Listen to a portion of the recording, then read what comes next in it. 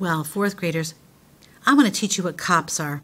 You know what a police officer is, and cops is kind of a, de a derogatory or a negative term when you talk about a police officer, okay? But for writing, it's the most important thing you can be. So if you want to imagine yourself putting on a police officer cap when you're a cops, you're going to become the teacher and you're going to check your work, okay?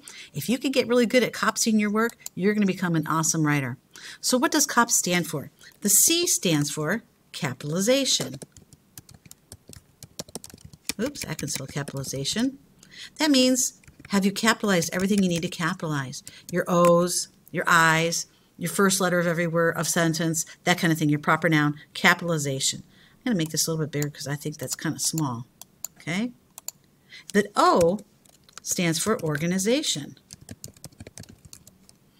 And that's kind of a all-encompassing kind of a word, meaning it covers a lot of stuff. Do you have paragraphs where you're supposed to have paragraphs? Are they indented where the are supposed to be indented? Um, do you have a if we're writing a summary, do you have your beginning, your middle, your end? Do you have your hook? do you have your introduction? Do you have your closing? All the pieces that are involved. So organization will really kind of change depending on what we're typing and what we're writing, okay? P stands for punctuation. That means, do you have your ending punctuation in the right places? If you're asking a question, do you have a question mark, an exclamation point? Do you have quotation marks in the right spot? Do you have your commas with your quotation marks? Are they all punctuated correctly? Do you have a punctuation at the end of every sentence? That's what I'm looking for for punctuation, and that's what you need to be looking for. The S, well, that one is spelling. And that one, I know we don't teach spelling right out, but I teach spelling through our writing, and that's where we're going to learn to spell. If you have an underline, those are your best friends because they're going to tell you if something misspelled. Let me show you an example. I'm going to write a sentence. The mom, let's do, the mom ran to the store. And see how it, it corrected it for me. See how the red underline right there? I can right click on it and it says, Did you mean store? How polite they are. Of course I did. Thank you for telling me, Mr. Google. Store. And I can fix it. So you have no excuse to have spelling errors on your writing, unless, of course, you do something like this. Ran um, of the store, um, that ran to the store. And you write the wrong to. Oh, you see, it even doesn't like the wrong two. If I right click on that one, it's going to say, consider changing it to that. I will. So it, I mean, it's really hard to get past that. Now see this underline here? It's because I have these extra spaces there. See, that it wants you to do that. Do a colon and then do a capital. So that's what your underlines are for, and I want you to make sure you use them. That's what a COPS is.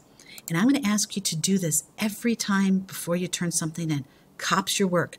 And each one of those is going to be worth a point and it will lower your score if you haven't copsed it. If I find capitalization problems, you're going to lose a point. If I find you haven't organized it properly, you're going to lose a point. Punctuation problems or spelling, you're going to lose some points.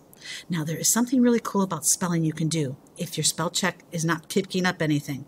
If you read your, your paper backwards, one word at a time, what that does is your brain is forced to look at each word. It looks at each word individually because if you read it forwards, you already know what you wrote, and your brain just automatically adds in words. It's kind of crazy how it does that. So read it backwards and read one word at a time. And you will see that, my goodness, you are able to find some words that are misspelled. Okay? Another way to do it is grab a friend and cops each other's works, and that sometimes helps as well. Okay? Any questions, feel free to ask. And we're going to add this page to our journal.